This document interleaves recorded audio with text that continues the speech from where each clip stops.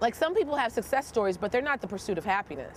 You have to have a really strong sense of, you know, this is my life, this is what it is, but it's okay, and I'm still okay, even though I might not have a fucking thing. I, I got a lot to offer, even though I have nothing at all. Those are your pursuits of happiness. This is Turn Here, and you're watching Teri Woods, True to the Game.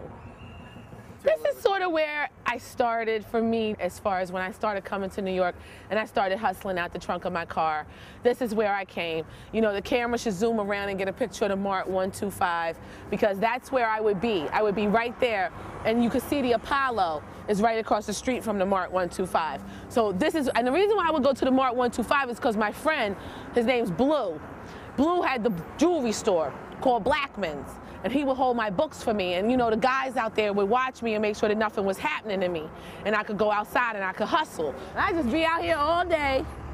And see, what happens is you got the same people who be out here. So once everybody gets used to you, you know what I mean? Then people gonna start talking to you and they're gonna start hanging out with you all day. You're gonna sell books.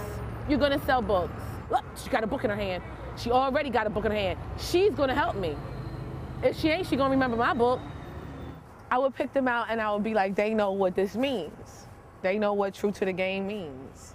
Meaning I'm not gonna ask some chick who looks like she's really bougie and she's got her little day job and you know, oh my God, that's just so beneath me. Nah, fuck you, I'm not bothering her. You keep moving. I'm not even gonna waste my time talking to you. Her, her with all that blonde hair. I'll show you. Her, them coming, they gonna get my book. I could stand right out here and point to everybody who would support me right now. She was gonna give me $10, her right there. That girl right there would give me $10. I would be out here crying sometimes. And, and no, no, nobody buys your book in the beginning. Nobody supports you in the beginning.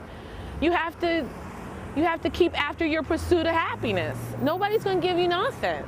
You know, and, and, and eventually what happened was you sold one book today. You only sold one book. because only one person who will buy your book. But you sold that one book, that one book.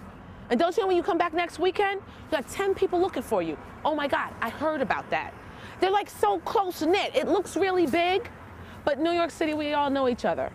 Everybody knows everybody. Anyone that reads this book anywhere in America is going to get that inner city experience. Like, not even in America, anybody who reads this book in the world. It is an American lexicon because it takes you into the inner city. It gives you that whole entire experience. And you feel like you're in the hood, like you know the hood, like you are the hood. That's, I think, why it's so powerful because people really feel that. They feel like they're in a whole nother world with these characters.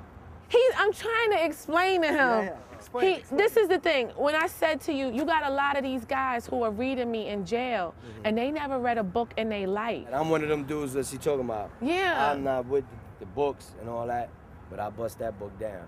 That's amazing for me. What That's what it's all about. At the end of the day, it's it can't be about anything other than that. And be more careful.